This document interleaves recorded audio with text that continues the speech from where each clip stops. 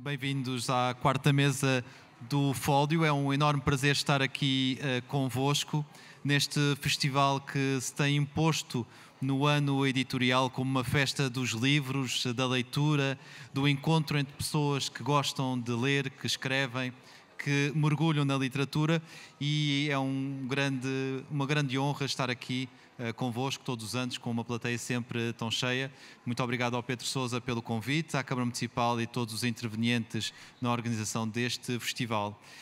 Um, é também um prazer estar aqui com dois autores que eu tanto admiro uh, e cujos livros disponíveis em Portugal são leituras extraordinárias, por isso espero que a sessão seja não só inspiradora para quem ainda não leu, mas também um reencontro com dois livros tão fortes.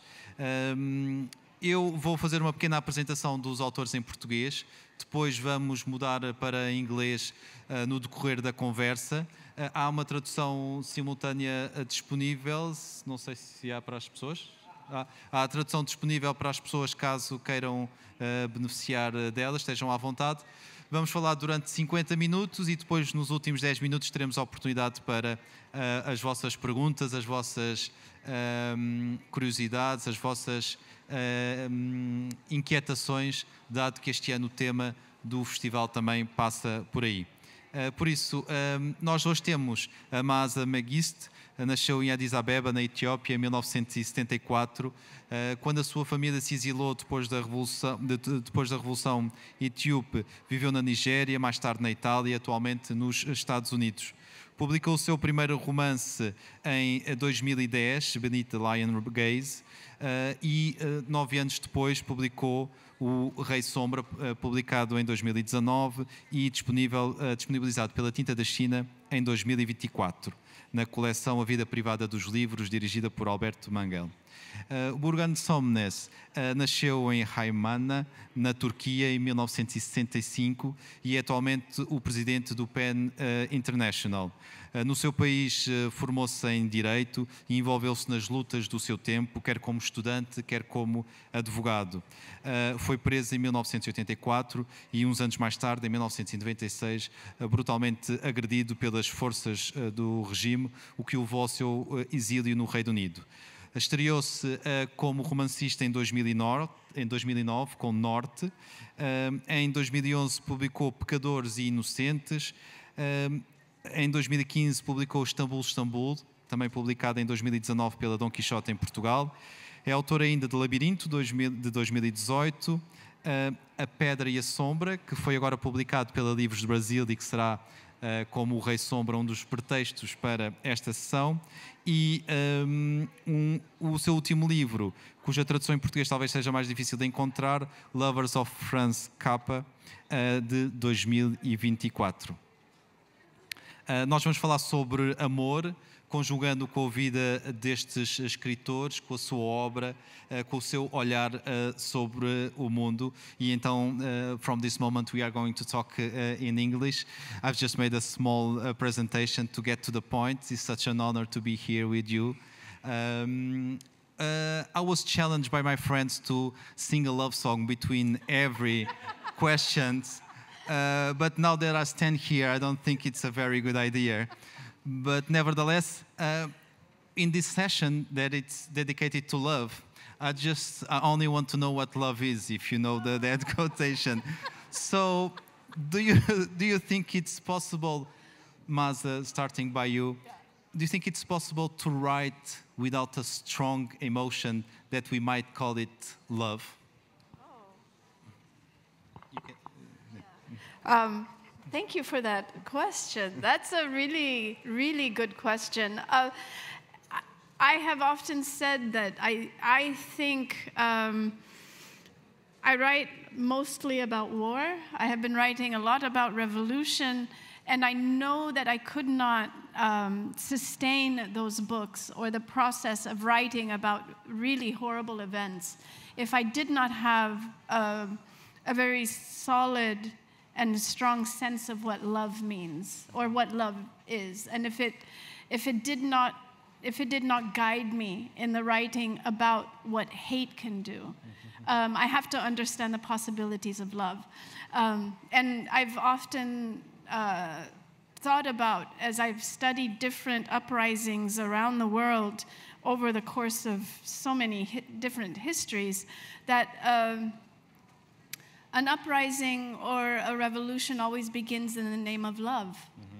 It is that, the kernel of that is love, that, that refusal to let other people, because they are poor or because they are of a different race or a different religion, to suffer.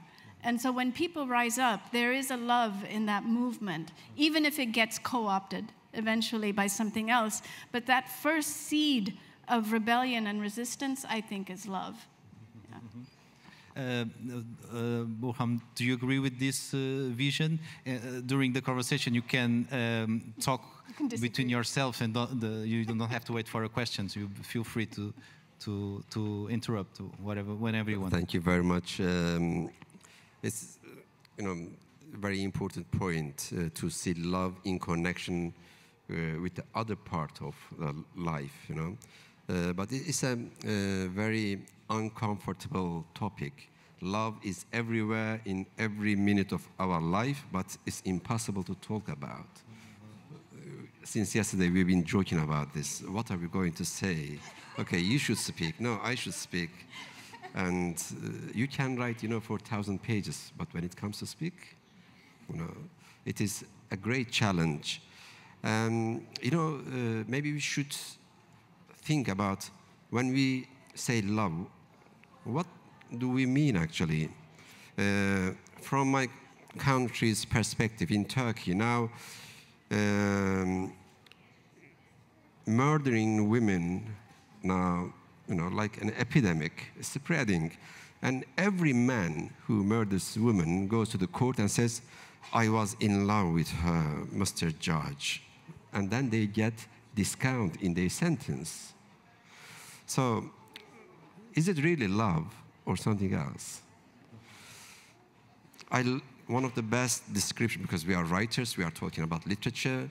One of the best descriptions for me is uh, in that story of uh, Little Prince. You know, Little Prince comes to Earth from another planet. He tries to understand what's going on on this planet, human beings and uh, animals, plants. Then he meets the fox, know, and fox uh,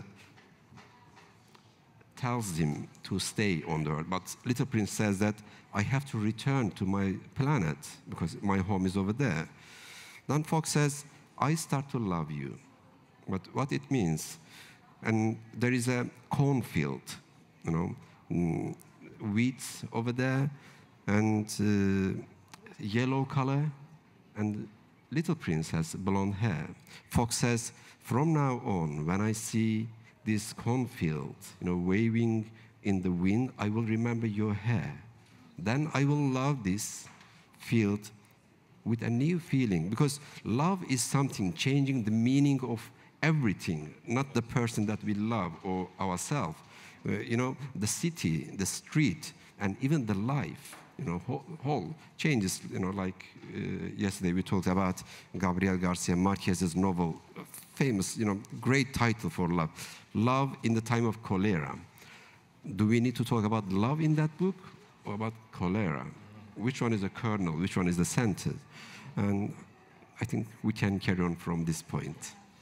But i- i- in a sense, we can say that love connects people, uh, even if the end of the story is not what we expected, if, even, even if the revolution uh, guides to another destination, uh, that's the substance that connects people. Yeah, and I, I, I think, Burhan, uh, you know, you were asking, what is this thing that, that we use the word love for an emotion that becomes so many other complicated things. Uh, and, but that feeling of, of a collective moving towards something or moving in the name of something that is greater than themselves might be a, a part of love. Um, but I'm thinking, Burhan, of your book, um, Istanbul, Istanbul, which I believe is also translated. In, it's a fantastic, fantastic book. And it's um, a story of these prisoners that are underground and they tell stories to each other. And what I remember now, listening to you speak, is the story of love that would weave through a man that fell in love with a woman that was at a cafe and um, these, these kinds of stories or these kinds of memories i think also sustain us so that they make the moments that are that are not about love possibilities towards that, that feeling again. Um, and I do like what you were saying about the fact that this emotion, which is an, which is an openness uh, to experience something else that's, that's it's something else beyond just the physical. Like the, is it the prince? I have the prince that sees this, the, the wheat, yes. and imagines it as hair, is beginning to understand that we are something more than our physical bodies, that there is another way that we can connect to human beings through memory, but it's that emotion is what makes that possible. Burhan, do you think it's time to rewrite the philosophical history and say, uh, I love, therefore I am, and not I think, therefore I am, like Descartes used to say? I think this question should be asked to Maaza, not me. Because isn't, but sometimes love is stupid, right? It's maybe we should think. uh, uh, I think, you know, uh, there are so many things we can talk about this. So uh, one of the things I've been thinking in the last couple of days, you know, there are different forms of love. You know, you love your partner, you love your parents, your friends, your brothers, sisters, your country. They all love. And uh, I think the main thing for love is maybe it's easy to find, you know, love at first sight, but it's so difficult to build it up you know. Half past six. Yes. it's a good time for love. uh, because when you meet someone, you cannot call them friend immediately. You spend time, you go through some good and bad experiences, then you build up a trust, and then it turns into love. But the problem is for human beings, for us, it's so difficult to build it up, but it's so easy to destroy it. Yes. In a small mistake, we just delete, you know, friendship, or you know, our relatives, or even our partners. Is that the right thing? You know, uh, maybe the reason is we idealize it. Love means perfection. It shouldn't have a stain on it. Mm. But maybe we should learn how to keep it despite the cracks, mm-hmm. the mistakes. Nobody is, you know, flawless. I have problems, you know, like everyone. So we should try to understand. We should open space. Maybe in that way we can make love something living, you know, always there. Well, do you want to say something? No, no, go ahead. No, I, I was uh, uh, trying to um, go in another direction because maybe we, the, the conversation might get very abstract, but uh, you are writers, you have novels, and I'm sure that uh, the love for your characters must be very important, even though if even if the characters are a hateful one. Mm -hmm. um, how do, could you describe your connection with the characters that you create, the love that you have for them, mm. and how important is to uh, build that love during the writing process? Uh, um, what I try to do with, with these with characters, especially those that are um, that are cruel, if that's if that is maybe the best way to describe them, I see them as complicated human beings, often trapped by choices that they have made, um, and whether they whether they enjoy these acts of cruelty that they do or not, they also understand how trapped they have made themselves. That, that ability as a writer to, to pick that vulnerability, to see that and develop it, is what allows me to get close to those kinds of characters. in real life, those I would not want to be around those people at all. I think in real life, I'm much, I'm much more uh, protective of myself and, and of other people. But when I have characters, the point of writing, of course, is, is to explore these areas of, of human character, human nature that we would not necessarily do because it's too dangerous in real life. Um, I think yesterday there was a wonderful conversation between Eleanor Catton and, and my dear friend Hannah, and um, they, I think um, Eleanor made a comment about we, you know, we have characters who do bad things in the service of the art so that we can explore through a novel this, this landscape.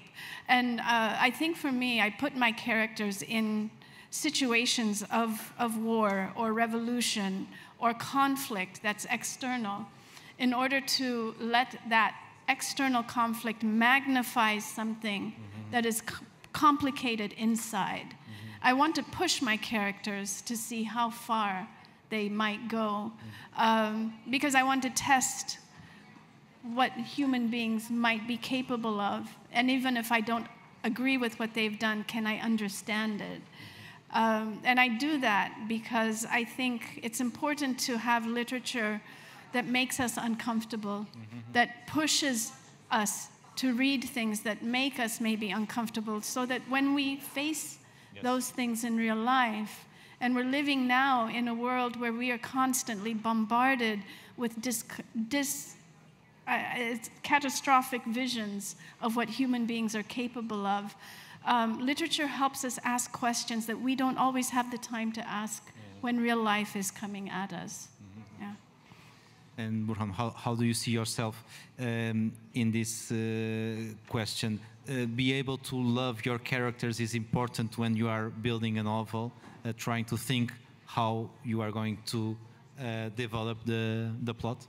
Um, yes, before that, maybe I should add something uh, to what just Maaza said.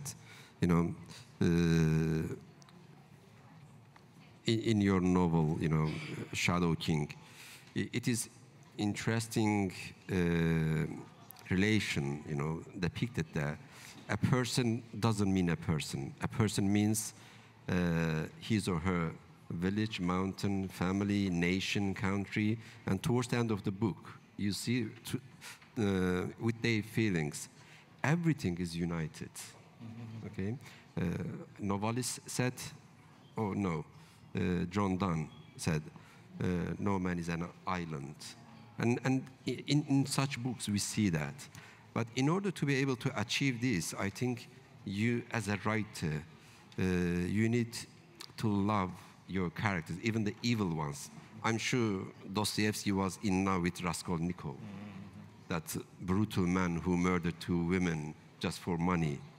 Yes. Uh, but with his love, he drew a perfect picture of that character, and we started to love that murderer, not as a good man in his act, but as a personality that bringing his heart out and showing us everything, you know, his evil side and also good side. Mm-hmm. I think this is something we can achieve only by connecting ourselves with our characters. Mm-hmm.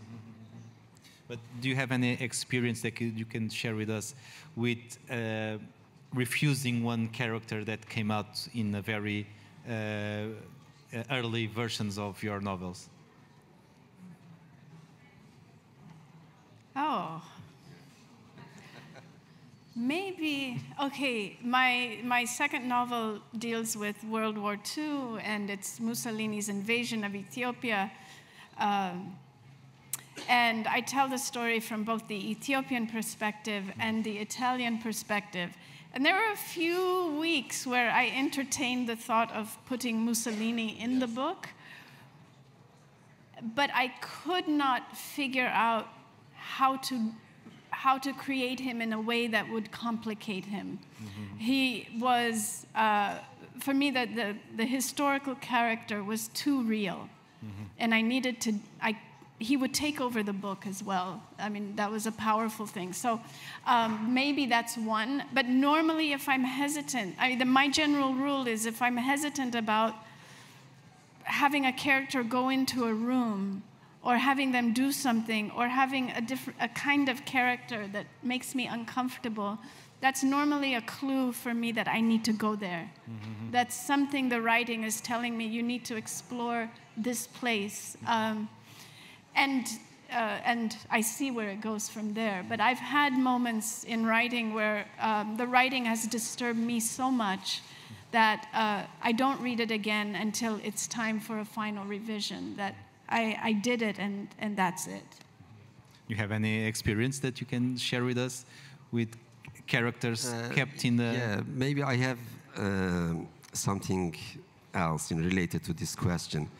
You know, books we write and being published in many countries, we travel every week to different places. But in fact, actually, you write your book just for a small group of people my small group of people is my village. Uh, I was born in a small village in central Turkey in the middle of desert. The village is still there. I still go there regularly. All my relatives, they read my books and they all believe that I am telling their stories. Seriously, my mom always said, okay, write about your dad, okay? Okay, mom, I'm writing. Seriously, always. She cannot read, uh, illiterate, and I say, okay, mom, I'm writing. When I go to village uh, or summertime, they come, they say, in that book you told a story, but the real story is this. Let's have a tea and I will tell you the story. Mm. And then use my name, he says.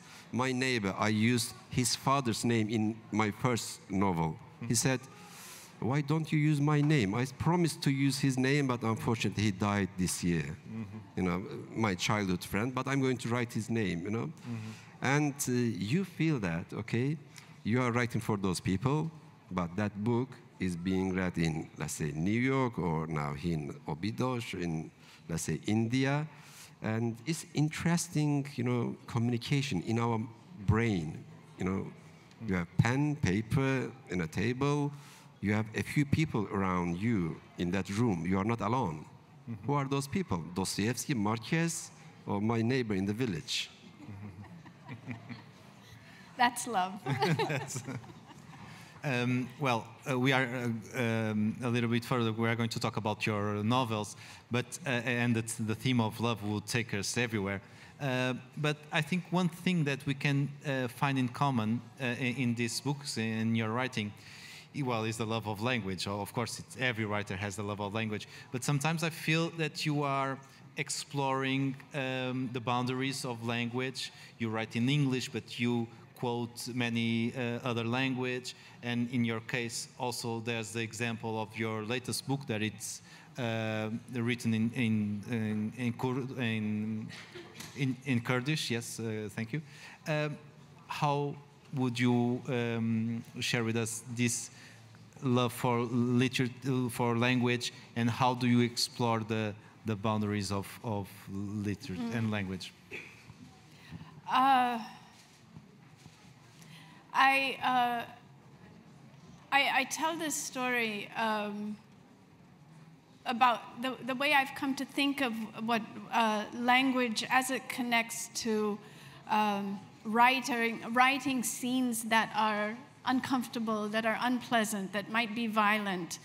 Um, I knew somebody uh, during the revolution of the 70s in Ethiopia who was one of the revolutionaries, and uh, she had been taken prisoner and had experienced really horrible interrogations. Mm-hmm. Um, and she read my first book, which is set in that time.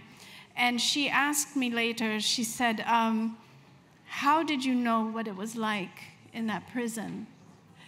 And I told, I said, I, I don't know. You know, I did, I did research. I said, but how did you survive this? And she said, well, she was kept in a cell that was quite small. I mean, this is a huge stage. It, it might be just this really tiny space. And she said every morning she would wake up and she would walk to her mother's house and then she would walk to her grandmother's house, and then she would walk and visit a friend, and then she would come back and rest. And as she's telling me this story, she's getting up and walking this, the parameters of the cell. And I understood in that moment that there is something, there was something that her imagination was allowing her to do. There was a mercy in that imaginative leap into a different space. Uh, and I was thinking a lot about that um, as I was working on my second book. How is it possible that our imaginations have often given us, um, given us a mercy, given us an ability to, to be somewhere else? So I thought, can I work with that in language? Can I, in the process of writing very, very difficult scenes of, of brutality, force language and metaphor and the imagination to take the weight of that moment? How does a sentence look? How does it sound? How does a paragraph look when you're trying to do that? And so you will notice if you're reading The Shadow King that in moments of the most brutal acts, uh, the language gets more beautiful. It starts working with metaphor and images because my characters are understanding the place that their imagination can go, even as, as their body is experiencing something else. Um, and so my sentences, I wanted to push a sentence and see how much can a sentence hold. Uh, yeah, and I've. Uh, you know, we'll see. I think my, my writing is, is an exploration of that on a completely artistic and creative level. What can language do? What is language capable of carrying for all of us? Because we all have this. Um, but in speaking, you know, with other languages, I, um, I grew up, I was born speaking Amharic. I, you know, this was my first language my schooling has been mostly, it's been all English. But when I realize when I'm writing, um, quarter to what seven. quarter to seven, everyone. Um, but when I'm writing, the cadences of, of Amharic come in. Mm-hmm. Even if I'm not using the words all the time, the rhythm is there. Uh, but in The Shadow King, I wanted to write what people would be speaking, which be both Italian and, and Amharic. Yeah. Uh, if I'm not uh, wrong, you were raised in a Turkish language because the Kurdish was uh, forbidden. Um, so you have uh, two worlds, uh, one in your house, one in the, the, school. You start writing novels in uh, the UK where the English was around you. How your relation with language was um, developed? Um, this is, um, okay, the wound, the bleeding wound, maybe the right description uh, for my language or my relation with language. When I, okay, you speak Portuguese and English. Okay, you can switch, that's fine. Mm -hmm. uh, I speak Turkish and English, I don't mind. But my mother tongue is Kurdish. Yes it is not the same thing having Kurdish and Turkish, having Kurdish and English, because Kurdish is forbidden, beaten. At the school, if you speak with your Kurdish friend in your mother tongue, you will be beaten. At the military service, you, you would be sent to prison if you speak in Kurdish. In torture center, if you are Kurd, you get extra hour of torture mm. just because of your origin. And in the end, you say, What is this? My mother spoke with me in that language, you know. Mother tongue is this. Mothers, you know, feed us with their breast. In one breast, they give us milk. In other breast, they give us their feelings, their language, their love for life. But that's cut off from you. They say, you are not what you are. You are something else. This is a real big struggle. It's a psychosis in Turkey, mm-hmm. uh, where 20 million Kurds live in Turkey. I don't know, what's the population in Portugal? 10 million? 10 million. 11. Yeah, 20 million Kurds, forbidden, and it's not something new. It's been 100 years. Still, there's a civil war going on. And also in other countries, Syria, Iraq, and Iran, Kurds are being treated the same. And then I started to write novels. And it was in Turkish because that's the official language I knew. And when I saw a Kurdish novel in my mother tongue for the first time, I was 35 years old. now, how can you expect me to raise this language, you know, put it on the pedestal? I don't have that grammar ability because I haven't read anything in my mother tongue for 30, 35 years because we have different grammar. And then I've written five novels in Turkish, with the last one just published now. I said, no, I'm returning to my mother tongue. Okay, Istanbul population is 17 million. We have hundreds of bookshops. Only in one bookshop you can find my Kurdish book. But I don't care because it is act of love. Love is not for majority. It's for yourself, for your mother, for your childhood, for, for your that small barren village, whatever it is called. It's for respect, you know, to humanity.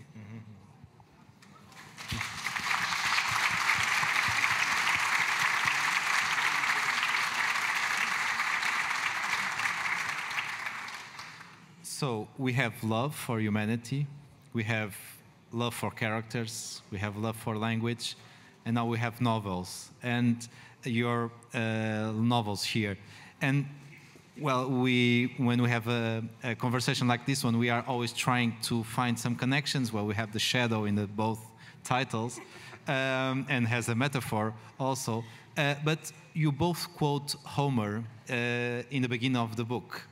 Uh, so I ask, uh, once uh, Burhan told me in an interview that in Turkish, if you want to talk about the family, you're always talking about uh, politics. You are talking about uh, the history that has, be, has to be told. Do we need new songs, new epics um, to talk about, uh, for instance, Ethiopia history and Turkish history?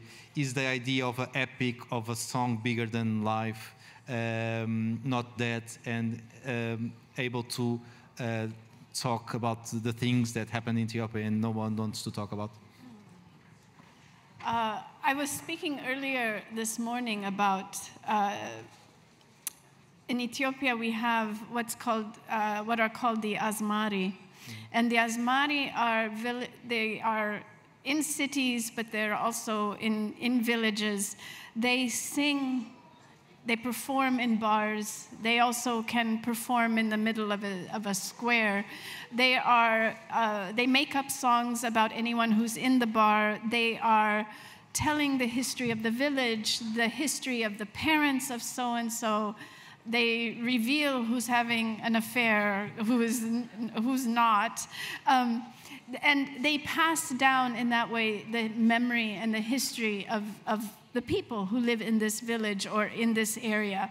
There are still songs being sung now that are about the people who fought against Mussolini in 35. And this is the way that a, a, a village remembers. It is oral history.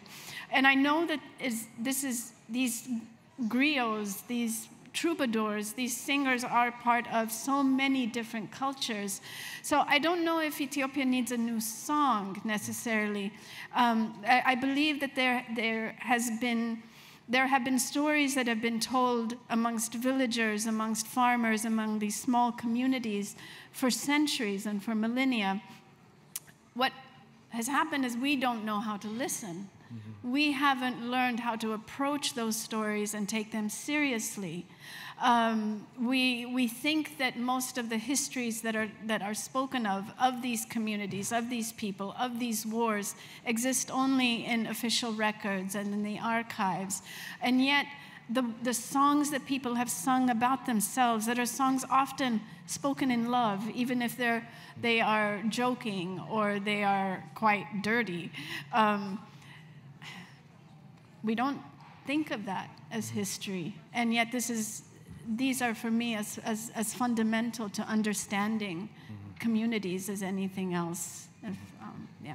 Uh, we, we can read the the Stone and the Shadow has a love story uh, between two two lovers, but uh, at the same time, it's a chronicle of the 20th century uh, from the point of view of Turkey. Of Turkey, um, was did you have the intention to have a, a big scale, uh, a, a, big epic of common people during all these wars, revolution, um, and oppression?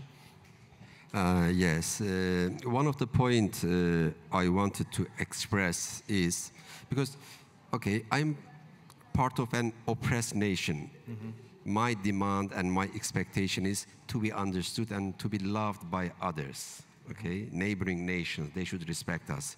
But do I love other nations? Mm -hmm. Because I have to ask the same question to myself. Okay, and what is the sign of love? in, in a social environment, I put a character here who speaks seven languages of all communities living in that region. That's a way of love. You know, you speak the language of your neighbor and the other neighbor. My mom, she couldn't read and write, but she could speak four languages. Mm -hmm. You know, because we have different communities, they, they learned it. They respected each other. They try to understand their feelings in their language. So this is one of the ways to promote peace, understanding, you know, and new ways of building up relations between people, between nations, between societies. Otherwise, we will always praise our own nation. We will always talk about our own wound and it will only create new national borders. Mm-hmm. That means war. This is what we are seeing now in the world. You know, nationalism or this populist, uh, populist politics is, you know, very fashionable, mm-hmm. you know, very trendy, and you just follow them. No, we have to have a new way of love and social relation against this current political atmosphere. Mm-hmm. And uh, uh, uh that's very interesting. And, and your, your, character is all one of your characters uh, are, uh, always reminding that uh, uh there's a, a, surface, but there are many layers. And if we if we go through all that layers, we find that we are much more closer than we thought. Uh, there used to be a church, then it, it, the church was rebuilt, transformed in other things, like uh, Hagia Sophia, for example. So sometimes if we only look at the surface we forgot the roots where we come from? Uh, yes, you know, in the book there is one character. He's a torturer. Mm -hmm. He tortures a girl and rapes her, and uh, but I didn't tell that part much. I tried to show that tortures personal wound and you know his psychological problems, try to understand him, mm-hmm. not to forgive him. Okay, we shouldn't forgive, mm-hmm. okay? But we should understand there is a human being in that dirt. That dirt created by politicians, by an evil society, by our neglect. But in the end, we should see that there is a gem there for the future of humanity. We should try to, you know, find it and share it with each other. Mm-hmm. I think the art is, in the end, is mm-hmm. to understand the hope within the crisis and then reshape it for our future. Mm-hmm. Um, well, in the morning, I promised I wouldn't repeat any question that uh, was posed uh, in the presentation, but you must talk about uh, the, your family history connected to the Shadow King, o Rei Sombra, because it was inspired uh, in your grandmother. So this is in, uh, we are in the Italian-Abyssinian War. Mussolini is invading um, Ethiopia, and this is not just a man's history, it's a history about women. Yes, um, and maybe this is also a, a, kind of story of, of love. Um, my, my great grandmother, when, when uh, Mussolini was getting ready to invade, and uh, there was a mobilization call across the country, the eldest of every family, bring your weapon and enlist. My great grandmother was a young girl at the time, but she was the eldest of her family, so she told her father, she had three other brothers, and they were, they were quite small. She said, Well, I'm the oldest and I will go. and uh, her father said, You will not, you're a girl. But she was in an arranged marriage with a man who was much older than she was.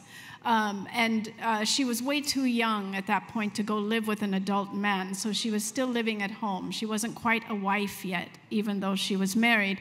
He said, I will give my gun to your husband, and he will go in to represent the family. She said, No, he will not. And I don't know what kind of fight happened between them, but eventually my great grandmother took her father to court to fight for that rifle, which you will see in the book, um, to get that rifle back from this man that she did not like, she did not love him, uh, and to go to war. And she won that court case. She pled her case and she won. She went to war, um, and that began, uh, that was my family story of, of, this, of this great grandmother. And uh, when I asked my mother, after years of researching my novel, and the novel was almost done, she just happened to say, I was telling her, Oh, I found these women, I found these women, I think I found this. There must have been women in, fighting in the war because I'm finding research. I spent about 10 years researching this book, and she said, Well, what about your great grandmother? I said, What? You know, and I said, she said, Yeah, she went to war and she told me the story. I said, Why didn't you tell me? And she said, You never asked. Um, and and so I said, What do you mean I never I never I never asked. I never asked if it was in my family. Even though I was researching, I never conceived that the stories that the women in my family told in the spaces where women gather, in the kitchen, in the bedrooms, separated from the men at a party, that that is history also. Um, and I, it has taught me a lesson. And I always tell people now, please, all of you, go home, go to your relatives and say, What didn't you tell me? What haven't you told me yet? And see what comes out yes. from that. Um, but I think that, and of course, I've always wondered, someone has asked me, okay, what, what happened to your great grandmother afterwards? And I've always, and this is a story maybe also of a kind of love. Seven o'clock. Seven o'clock. Seven o'clock. The clock ticks. Yes. Um, but what is it like um, for women who were part of liberation movements, who were part of revolutionaries, uh, who are part of these movements? And I know that that exists here in, in Portugal at all, at also. What is it like to fight and then come back and be somebody's wife? Or be somebody's daughter. When you are a soldier in the field or you're fighting, you're a rebel, what is, what is, how do you change inside? Mm-hmm. And my great grandmother came back from that war and divorced her husband and then decided that she would take as many lovers as she wanted. Mm-hmm. And so, like, we have a big family. in, in Portugal, we say that she was a woman of, uh, of weapons, literally. many weapons. many weapons. Um, Burhan, you have a very strong uh, main character, Avdo, that it's a tombstone sculpture. Um, is it a, a, metaphor for what rests uh, of our path in life, what uh, may uh, still stand still after everything that we have uh, done? Um, yeah, towards the end of the book, I uh, started to understand uh, the role of Avdo, the main protagonist in the book. He's a very old man. He's carving stone for newly, you know, died people. And when he carves a stone, he always first asks the story of that man who died. Okay, man or woman, and then through the story, he tries to find their spirit, and then reflect it on the stone. And then I realized that actually Avdo himself is a gravestone mm-hmm. of his country, his past, of you know, whole 20th century. Then throughout his life story in that book, um, I tried to picture the story of the whole country, the whole region, you know, from Istanbul to Cairo to Italy. Uh, so Avdo means the whole geography for me. um, we are getting to the end of the session, so you, uh, estamos a chegar ao fim da sessão e terão a oportunidade de fazer as vossas perguntas. Vou só colocar mais uma questão. I was saying that the session is in the end. They will be able to, to make their questions, to pose their questions. Um, in your in your book, uh, but I'm just giving some time to uh, ice breaking, you know. um, in your book, uh, you create, um, you transform a common uh, citizen in an emperor because uh, the Ethiopian emperor, for the first time, uh, fled uh, Ethiopian. It's a, also a metaphor of the power of fiction that can uh, drive people to believe, to struggle beyond their strengths. Yes, I mean, it's, it's really, um, here's this common man that, that looked like Haile Selassie. And so when Haile Selassie fled Ethiopia during this war, here this man was chosen to dress up like the emperor and continue to give the people some, you know, uh, inspiration. Um, it, yes, the common man, but the man's name, Minim, in Amharic means nothing. And so for me, I was also questioning what is power?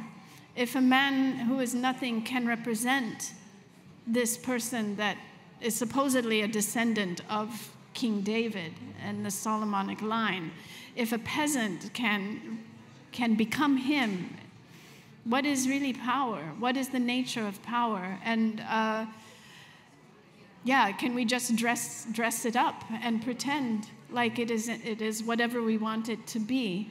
Uh, and so I, yeah, I mean, as, as the United States gets closer and closer to a, an election that is likely disastrous no matter what, um, that what is the nature of power? Is, yeah. uh, in your book, uh, The Shadow and the, the Stone and the Shadow, but also in Istanbul, Istanbul, the story is often used to uh, get people together, and in the, in the case of Istanbul, Istanbul, to survive a prison. Do you have? Do you think that the story has the power uh, to help people survive the worst moments of their lives? Uh, yes, you know, it's a straight uh, answer to this question. Um, when I was in that uh, torture center, I was 19 years old. Um, in that small cell, I remember there was a journalist, and uh, he was more experienced in torture ses- sessions and prison. Uh, he was a very smart man, and They often are. Yes, and uh, it was my second because they were they've been there for a long time. I was a newcomer and the youngest student, and he, he said, "Now I'm going to tell you a story, the story of the Spartacus." And we said, "Oh, okay. I heard the name, but what's that?" And then he told us the story. Apparently, he watched that movie by Kirk Douglas, and. Uh, and then we started to tell stories to each other. You know, uh, between torture sessions, you go, you hear, you know, screams, but talking there and sharing story and uh, creating something new, you know, with the wounded people just next to you, I think the power of mankind, you know. Uh, I grew up in a small village, as I said, there was no electricity and uh, we didn't have radio or TV. My mom was a very good storyteller. At night, we would just gather in the mm, in that room with uh, kids, and uh, in that dim uh, light, she would tell the stories. But then I realized I collected all of her stories. Just 20 stories. Hmm. But for years, she always told the same stories to us. But then I realized actually they were not the same story every time. Because if she had a happy day, she would tell us you know, that story in a different voice. Hmm. If she had a very sad day, and then the story, the storyline is same, but the intonation is changing, and then you try to understand or you try to feel the psychology of your mother through that language, that stories. I think there are so many different layers telling a story, and that's what made us human, maybe. Uh, temos então agora tempo para. Uh, you, you, can use now the, the translation. Uh, temos agora tempo para as vossas uh, perguntas. Eu disse à Masa e ao Burham que não há público como o de Óbidos sempre a colocar perguntas, por isso não me deixem mal hoje. Podem fazer perguntas, comentários, ainda temos algum tempo. Temos já aqui uma pergunta. Hello, uh, hola. I'm Patricia. I'm a yoga teacher and I'm also an environment engineer. Eu sou professora de yoga e sou engenheira do ambiente.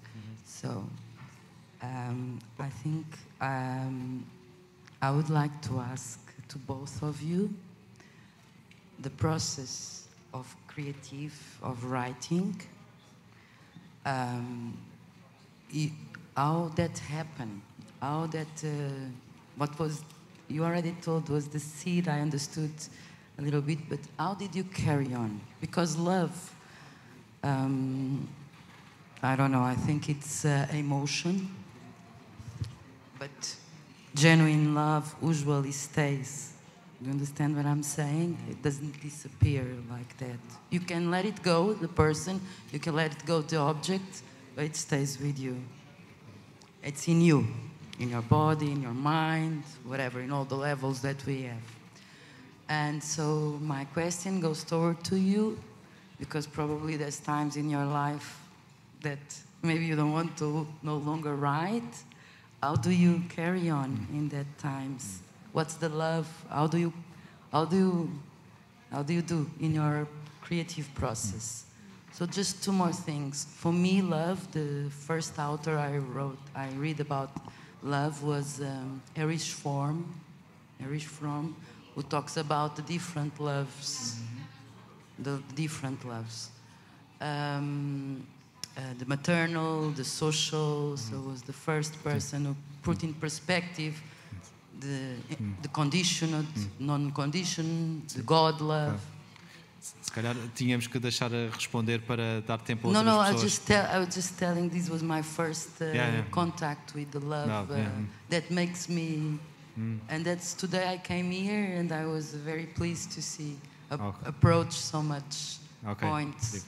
Uh, one more thing, because uh, um, I would like to ask to Burham. Uh, Burham, people who are orphan and they didn't have mother how do they, you know, because you've been talking about cutting, um, mm-hmm. the connection of writing with the mother, t- mother language, with the motherhood, how they can do it, how they can carry, what do you think it would be like? Was, it's, mm. it's a little bit of a challenging because okay. it, to me the narrative is always very connected to the mother. So sorry. So uh, a brief comment about your writing process and um, if is it connected to love?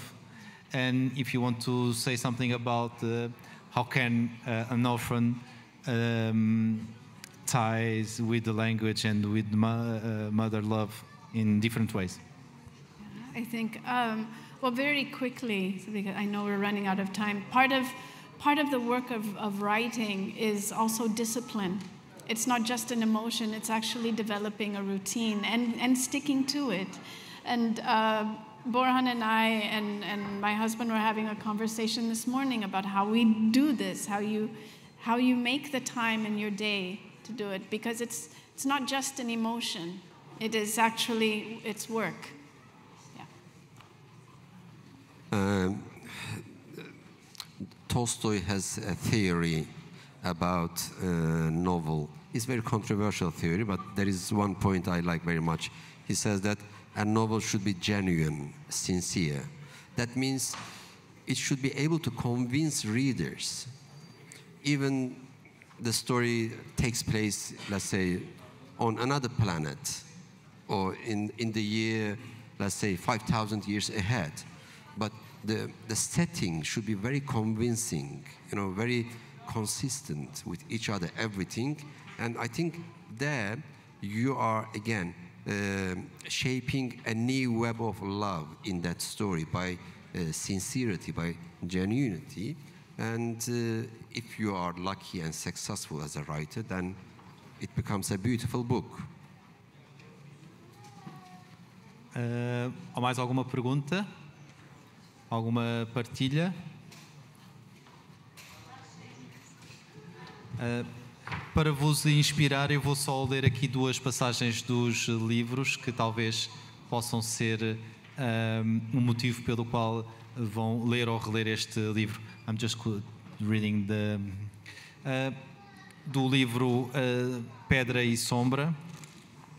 Por um momento, Riham captou nos olhos de Avdo uma expressão semelhante à sua, uma expressão que dizia que a joia preciosa chamada amor podia crescer no corpo de um ser humano e transmitir-se aos outros. Aquela expressão que desde há séculos passava de geração em geração não só lhes dava um novo futuro, como abria uma janela para o novo passado. Acreditariam um no outro. Nesse passado, encontrar-se-seriam um no outro. Juntos, veriam com novos olhos as pessoas que tinham conhecido e já não existiam. Continuariam a viver seguindo o rasto de uma nostalgia que se transmitia de um coração a outro. E agora do Rei Sombra. Cantem, filhas, uma mulher e mil mulheres, as hordas que correram com o vento para libertar um país de bestas venenosas.